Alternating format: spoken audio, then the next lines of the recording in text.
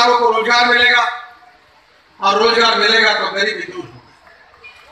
और इसलिए बिजली, पानी, रोड और टेली कम्युनिकेशन के साधन नहीं होंगे तो हमारे राज्यों का और देश का विकास नहीं हो सकता। और इसलिए हमें राजनीतिक दृष्टिकोण से नहीं देखना चाहिए। बहनों और भाइयों, मैं, मुझे आज इस बात की खुशी है कि आज मैं करीब चार पाँच हज़ार करोड़ के कामों का शिलान्यास कर रहा हूँ। पर अभी तक हमारी सरकार ने अस्सी हज़ार करोड़ रुपए के कामों की लगभग शुरुआत की है। और मैं हमारे पाँच साल पूरे होने के पहले करीब दो लाख करोड़ रुपए के कार्यों का शुभारंभ उत्तर प्रदेश में करना है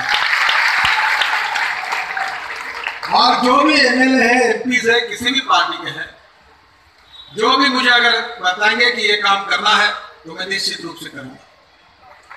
हमारे सतपाल सिंह सैनी जी ने मांग की है सतीश गौतम जी के हमारे राज्यसभा के हमारे सांसद महोदय, उन्होंने भी की है।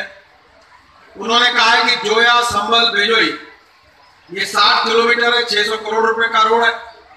मैं इसको राष्ट्रीय महामार्ग करके घोषित करता हूँ और इसका डीपीआर बनाने के आदेश हमारे आज हमने जिस रोड का शुभारंभ किया है, उसमें आपके शहर से बाईपास है। तो रेलवे ओवरब्रिज बनने वाला है। पर हमारे सांसद महोदय ने कहा कि शहर के अंदर भी एक रेलवे ओवरब्रिज है पुराना, और उसको भी बनाने की बात उन्होंने कही है, उसको भी मैं मंजूर करता हूँ। और सांसद महोदय, ये ब्रिज को जाने वाला रोड भी मैं गाँव का सीमेंट कंक्रीट का बनाने के लिए तैयार हूँ।